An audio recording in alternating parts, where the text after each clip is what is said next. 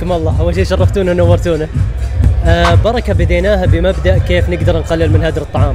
شفنا في مشكلة كبيرة اللي هي هدر الطعام.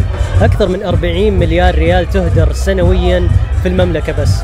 ومع إحصائية أخرى إن أكثر من 40% من جميع الأغذية المصنعة تهدر عالميا. هذه مسببة مليارات من هدر الطعام آه للمتاجر وبرضه مسببة مشاكل للبيئة.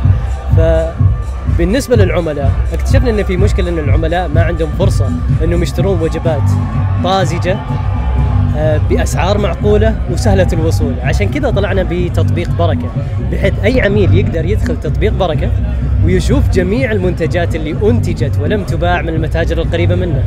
ويشتريها بخصم من 50 إلى 70% والحمد لله بهذه الطريقة قدرنا نحافظ على أكثر من 150 ألف وجبة إلى اليوم.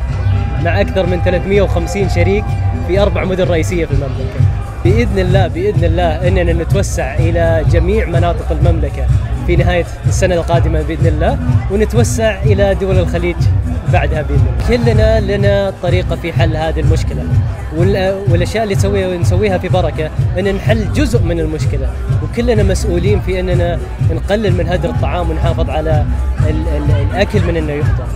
نعم أي عميل ممكن إنه يحمل التطبيق عن طريق ال- الباركود ويدخل يسجل بياناته ويشوف وش المتاجر اللي قريبة منه ويحجزها بالوقت المناسب له ويستلمها أو تتوصل له عن طريقنا إحنا.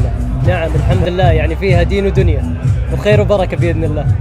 آه، أدعوكم جميعا إنكم تحملون التطبيق لأن مشاركتكم معنا آه، تحفز المطاعم برضو في إنهم يشاركون وينزلون منتجاتهم في بركة. بهذه الطريقة الكل يكون مستفيد المتجر والعميل. حياكم الله. يا هلا والله.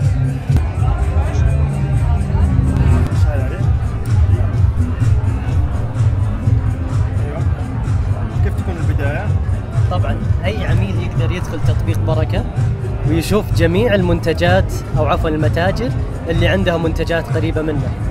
وكل متجر يدخل عليه يشوف السعر القديم والسعر الجديد بداية ونهاية وقت الاستلام ويدخل عليه ويحجزها اليوم أو البكرة. فبهذه الطريقة العميل قدر إنه يحافظ فلوسه في نفس الوقت يحافظ وجبات من إنها تروح أنتم اليوم شاركتم في المهرجان الاقتصادي هذا هدف نعم.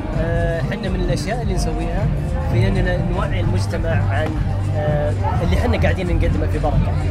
بركة آه، للجميع آه، مهب لأشخاص معينين. هدفنا في أي أحد إنه يستخدم تطبيق بركة إنه يساهم في تقليل هدر الطعام. إيش الاسم هذا سميت بركة؟